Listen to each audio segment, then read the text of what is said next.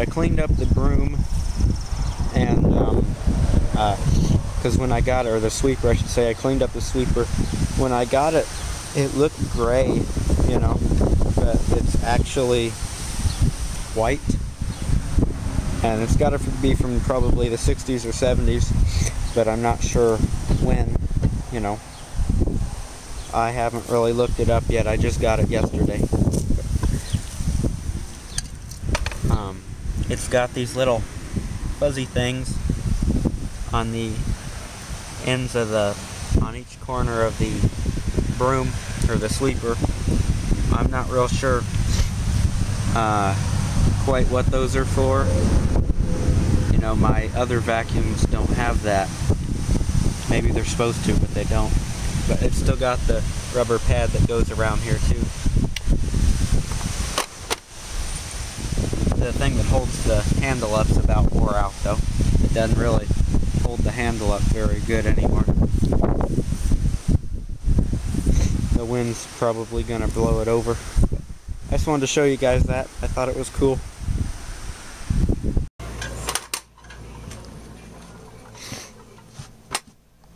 So this is my other vacuum that I have. It's a Bissell 150. It's from the 70s. I looked it up on the internet. And then this one, this stupid cooler's in the way, but this one back here is a lot newer. It's a Dirt Devil.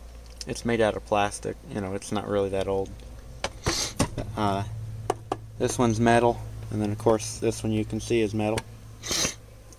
Um, so this white one here is the only one that I actually didn't have to pay for. But that one was a dollar, and this one I think was a dollar. So I really didn't pay that much for them. I think they're pretty cool. And that's by far the smallest one I have. But as you can see, um, this one doesn't have the little fuzzy things on the corners. And um, uh, where you push, you know, to open it up to empty it out. It doesn't say push. This white one does. Let me flip it up here.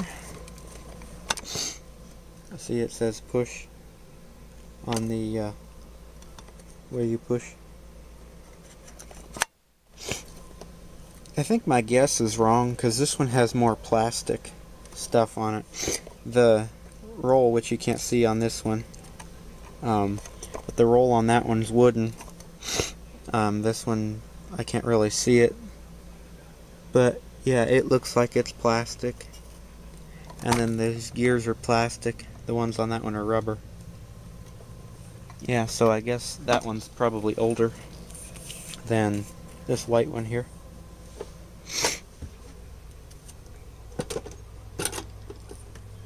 Running out of room for vacuums here. That's because this stupid cooler doesn't go here, it goes out in the shack. It's just not there right now.